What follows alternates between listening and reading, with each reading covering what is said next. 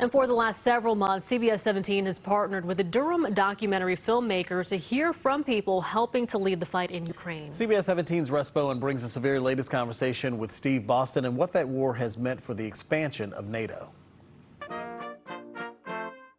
After a recent appearance at the White House, the leaders of both Sweden and Finland have now filed formal applications to join NATO. That decision by the two Nordic countries is all due to Russia's invasion of Ukraine.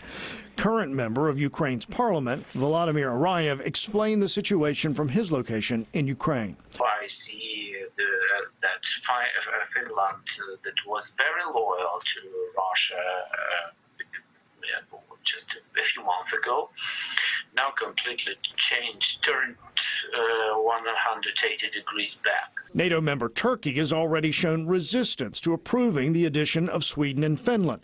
Russia's nuclear arsenal is one reason Ukraine's former minister of infrastructure says the entire world must unite and that other members of NATO should support the joining of new members.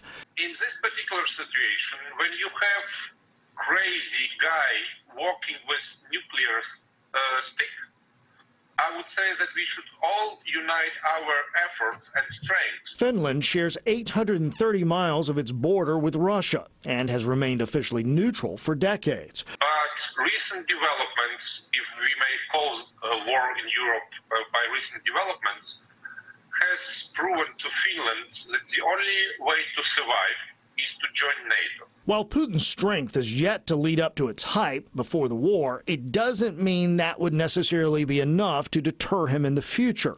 Now they are really care about their security, understand that as a part uh, of a Russian empire, uh, Finland, uh, Finland's security is really jeopardized uh, by the current Moscow regime. A regime that both men agree did not count on Ukraine's determination to send the Russian military back to where they came from.